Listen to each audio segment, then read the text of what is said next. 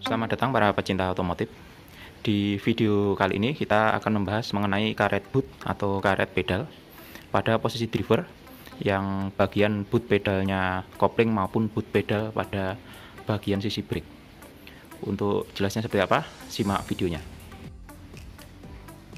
Boot pedal pada bagian sisi brake dan sisi kopling.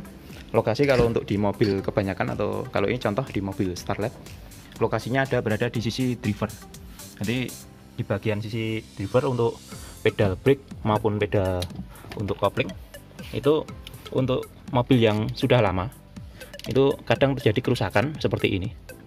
Jadi ketika dia diinjak ini bagian sisi brake atau sisi kopling ini contoh sisi kopling ketika diinjak itu boot pedalnya ini sudah rusak. Nanti kerusakan terjadi dengan seperti ini. Nanti ada bagian sisi 4 ini rusak dia pojok-pojoknya. Nanti yang efeknya kalau misalkan ini tetap dipakai yang terjadi kadang ketika dipaksa dipasang seperti ini dia ditekan dia akan meleset. Nah, nanti disarankan untuk boot pedal ini diganti. Nanti nanti kita akan mengganti untuk boot pedal pada sisi brake maupun sisi kopling untuk pad brake pedal maupun miliknya kopling karetnya sebenarnya ini di untuk mobil Toyota ini sebenarnya udah disediakan spare partnya. Nanti kita bisa lakukan penggantian kalau memang untuk pad brake-nya pedal ataupun kopling dia rusak.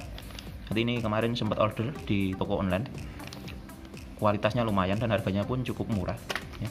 teman-teman kalau mau mengganti ini harganya cuma 25.000 bisa dicari di toko-toko online yang tersedia di marketplace jadi nanti kita lakukan penggantian dengan pad pad brake pedal baru ini.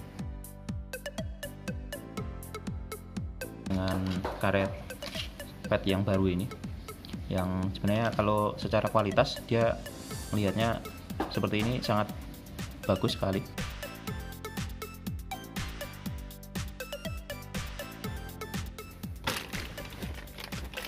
Kita langsung coba ganti ya jadi kita lepas dulu yang lama.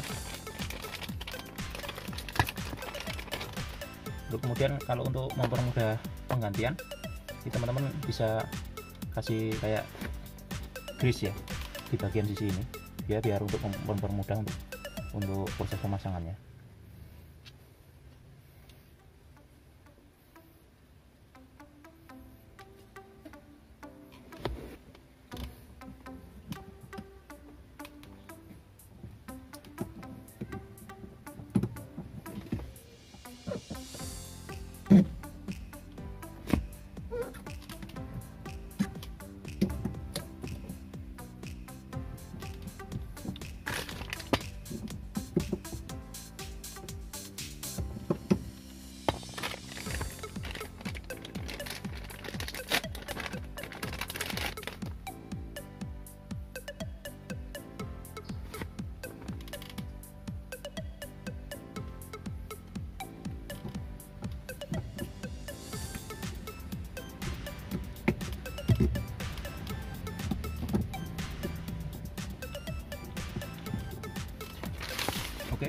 sudah terpasang dengan baik. Jadi silahkan dicoba.